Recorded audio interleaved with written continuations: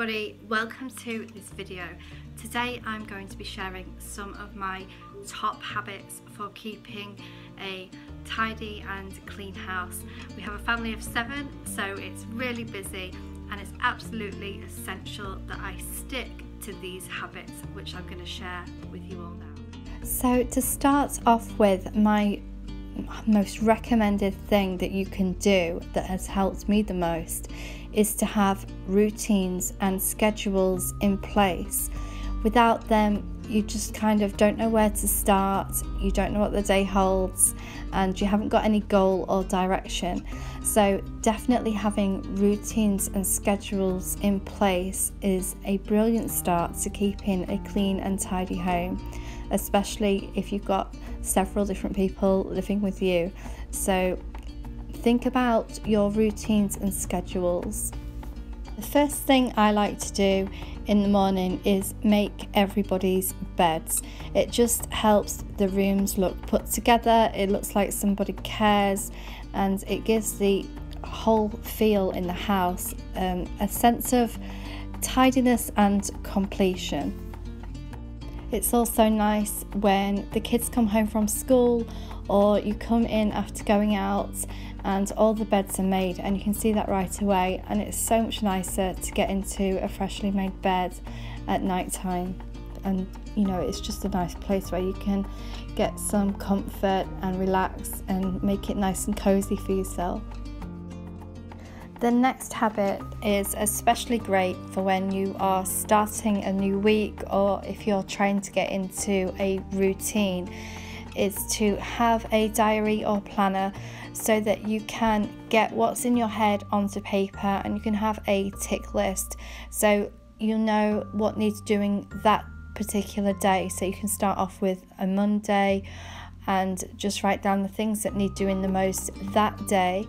And you can plan your whole week like this. You can either plan your month or six monthly cleaning routines as well. But it really does help to have a checklist of what needs doing that day so that you don't start forgetting what needs doing. And it also helps to make sure that you don't get sidetracked or you don't spend too long um, sitting down or going on Facebook, that kind of thing, so that you can keep checking in on yourself. Make sure that you're keeping up to task. Next up is storage and organisation. So make sure that when you're putting your Halloween things away, you're not just shoving them in a bag, you're putting them in the appropriate box, nice and neat and tidy so that things don't get damaged. And all the Halloween stuff is in one nice container, ready for you to pull out the next year.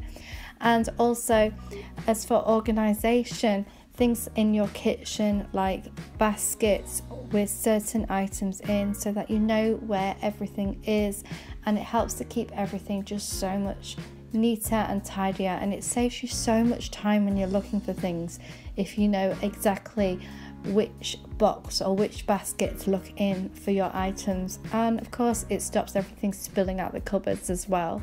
So it definitely helps with the organization and the clean and tidiness of your house. It's important when doing your cleaning and tidying to make it an experience, to actually enjoy doing it. So, why not get some scented candles to let some aroma into your house?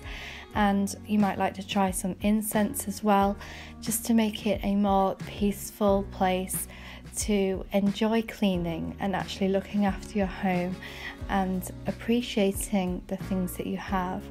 And you also might like to listen to some music whilst you're cleaning.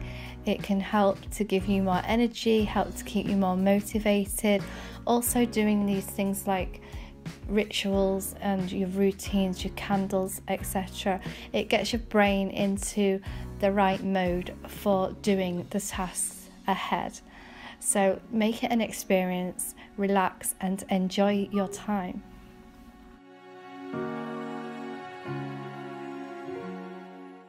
Putting things away when we're done is often something that I used to struggle with. So I would do a pile of ironing and then just leave it in the basket. These days, as soon as I finish ironing, I go and hang the items up right away. And it's the same with meal times. As soon as everybody's finished eating, don't sit down watching TV for a bit. Get straight up, put the pots away, get them washed, cleaned, put away immediately. And do this with everything. When you pay, put your makeup on in the morning, tidy it away uh, as soon as you can. Don't leave things to lay around and fester. This is how the chaos starts to build up. So make sure that you are putting pots away after meals, don't leave them out, and try to incorporate everybody in your house to tidy up after themselves immediately. Keep your eye out for it.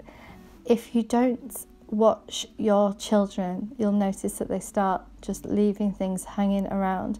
You have to keep on top of it all the time.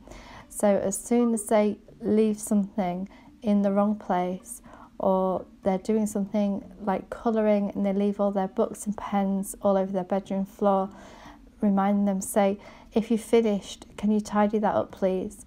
And then it's tidy for the next time you want to do something else rather than having piles and piles of things just bundling up on top of each other and then it can really get out of hand pretty fast. So make sure that you tidy as you go and every time that you get up and go into a different room, try to make sure that you're carrying something with you, something that needs to go back in its rightful place that's been moved from another room by somebody else. You should always be putting things back where they belong ASAP. Make sure that you do something a little different every day so it's not the same old routine all the time, such as cleaning your windows on one day, maybe rearranging your bookshelves on another day. Make sure that you do something different, like bring some nice flowers into the home in a nice vase and put that in a nice place to brighten up the space or maybe you could rearrange one of your kitchen cupboards on that day just so that you're breaking it up and doing something a little different. So it's not the same old routine constantly. You might like to prep a meal in advance so that you can relax more around one of the meal times or you could add some seasonal decor to your home on that day to make it a little bit different. And to give your home a more cozy and warm feeling.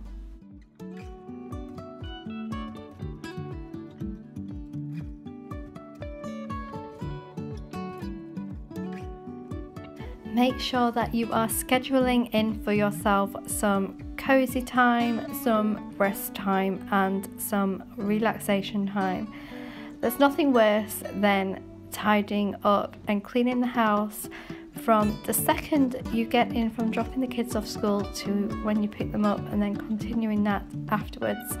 It's so nice to have just a little me time at some point in the day. So maybe take yourself for a nice November autumn walk. Make sure that you're nicely dressed up warm and all cozy so you can enjoy your walk. You'll especially enjoy getting in afterwards and making yourself a nice hot drink so that you can rest and relax. You might need to schedule yourself in some Netflix time or a nice hot bath with some candles, even if it's only half an hour. Make sure that you schedule in a little bit of me time in your day. I hope you really enjoyed this video and found it really helpful, picked up some tips. So get into the habit and I am off to prep some meals so that I can pretty much skip preparing dinner time and skip preparing breakfast. So I've got some more relaxation ahead of me. So I'll see you in the next video.